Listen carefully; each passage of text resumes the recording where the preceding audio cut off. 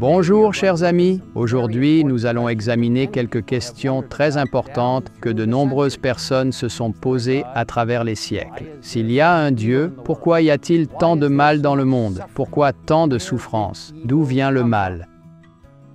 Lorsque l'on se penche sur des questions profondes comme celle-ci, il est important de comprendre ce que révèle la Bible et ce qu'elle ne révèle pas.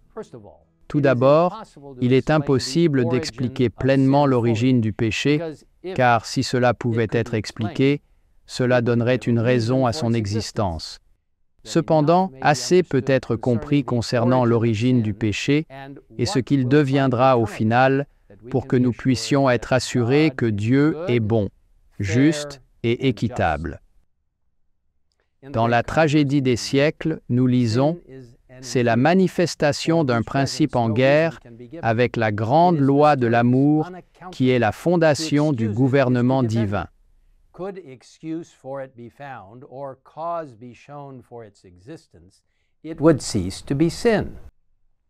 La Bible est très claire sur la définition du péché. Nous lisons dans 1 Jean 3, 4, Le péché est la transgression de la loi.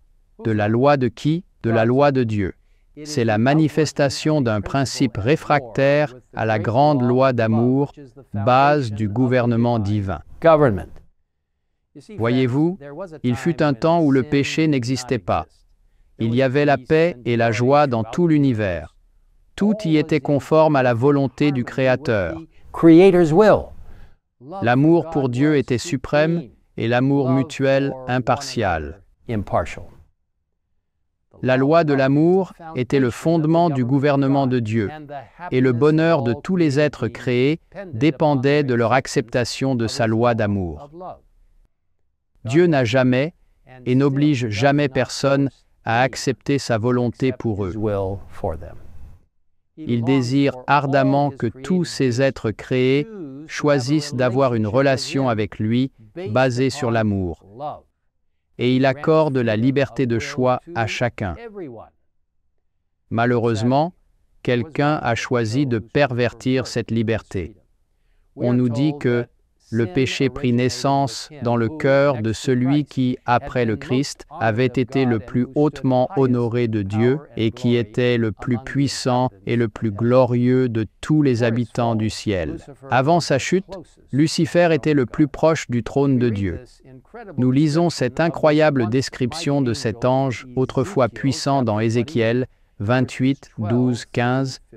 Tu mettais le sceau à la perfection. Tu étais plein de sagesse, parfait en beauté. Tu étais couvert de toute espèce de pierres précieuses. Tu étais un chérubin protecteur aux ailes déployées.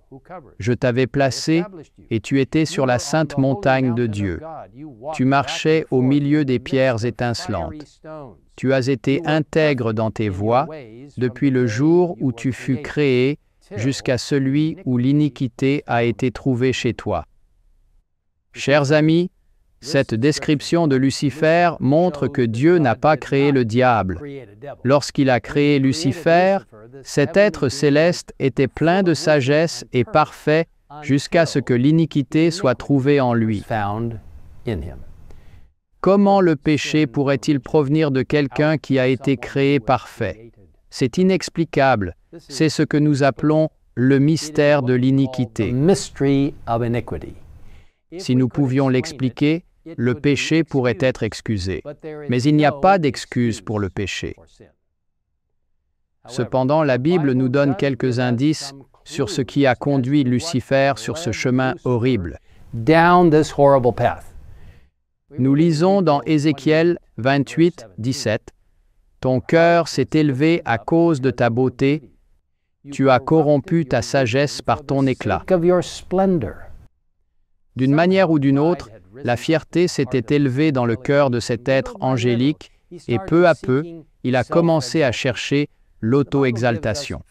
La Bible nous donne de plus amples informations sur les pensées de Lucifer, où nous lisons en Ésaïe 14, 13, 14, Tu disais en ton cœur, Je monterai au ciel, j'élèverai mon trône au-dessus des étoiles de Dieu, je m'assiérai sur la montagne de l'assemblée à l'extrémité du septentrion. Je monterai sur le sommet des nues, je serai semblable au Très-Haut. Chers amis, la fierté est une chose terrible. Alors que la fierté s'amplifiait dans le cœur de Lucifer, elle le transformait en diable alors qu'il décidait d'être comme Dieu. Mais au lieu de s'élever aux hauteurs de Dieu, il est tombé bien bien en dessous de là où il se tenait autrefois. Et ce n'est pas tout. Depuis sa chute, il s'est résolu à causer autant de douleur et de chagrin que possible au cœur de Dieu. Et c'est à travers ces tentations offertes à Adam et Ève dans le Jardin d'Éden que le péché est entré dans ce monde. À Ève, il a proposé la même tentation à laquelle il avait lui-même succombé, être comme Dieu.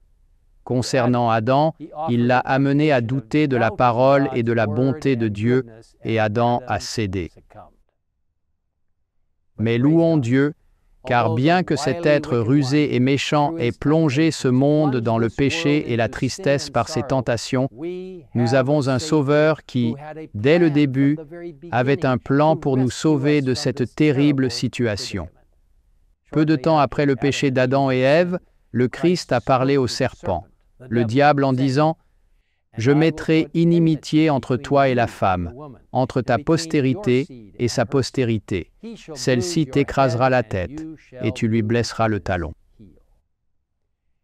Ici est contenue la merveilleuse promesse que Jésus viendrait sur cette terre et que bien qu'il endure la souffrance, la tristesse et même la mort pour notre salut, il ressusciterait et écraserait la tête du serpent. Oui, mes chers frères et sœurs, un jour tout péché, toute souffrance et toute tristesse que nous connaissons seront anéantis. Viendra un jour où Dieu lui-même essuiera toute larmes de leurs yeux et la mort ne sera plus. Et il n'y aura plus ni deuil, ni cri, ni douleur, car les premières choses ont disparu. J'attends avec impatience que ce jour arrive, et je suis sûr que vous aussi. Louons Dieu pour cette espérance. Jésus vient bientôt. Prions ensemble. Père céleste, nous te remercions pour le merveilleux plan de salut que tu as initié dès le début des temps, même avant la création de ce monde, quand toi, le Père, le Fils et l'Esprit Saint, vous vous êtes réunis et avez présenté le plan de salut dans lequel Jésus lui-même offrirait sa vie pour chacun de nous, et qu'il ressusciterait et nous offrirait sa grâce et son salut. Nous te prions de nous aider à continuer à regarder vers Jésus afin que la fierté n'entre pas dans notre cœur et que nous donnions toute la gloire à Dieu maintenant même.